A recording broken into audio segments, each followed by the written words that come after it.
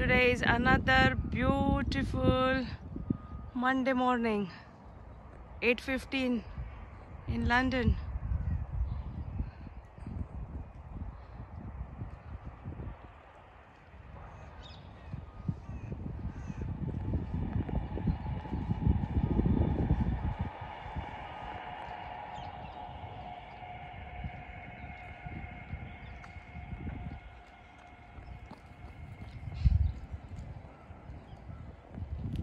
Time to get going in life. Hello, everyone. Come with me on a beautiful morning walk.